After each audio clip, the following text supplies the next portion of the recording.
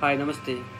कस्तो हुनुहुन्छ जहाँ हुनुहुन्छ घरमै रहनुहोस् सुरक्षित रहनुहोस् यसरी हामी प्रदेशमा रहँदा आफ्नै कार्यव्यस्तता आम्दानी सिकाइको सँगसँगै मनको आहारको बाटोमा अनेक कुराहरू खेलिरहेको हुनसक्छ।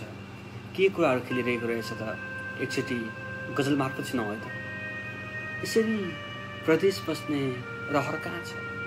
यसरी प्रदेश बस्ने रहर कहाँ छ? फेरि मन नरोएको प्रहर कहाँ छ? यसरी प्रदेश बस्ने रहर कहाँ छ?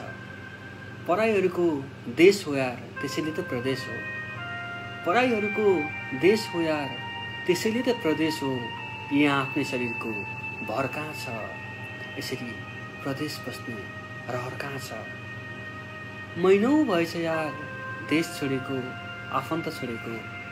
महिनौ भएछ यार देश छोडेको आफन्त छोडेको। सम्झन्छु। बा आमा घर कहाँ छ?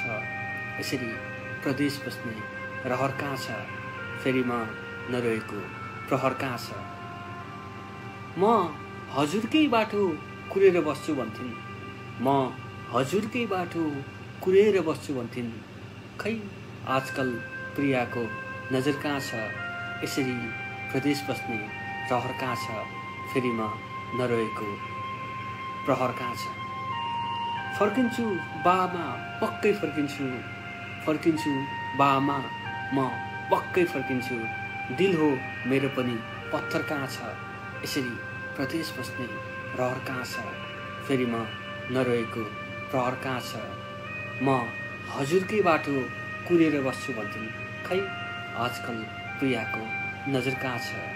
यसरी प्रदेश बस्ने रहर कहाँ छ? नमस्ते।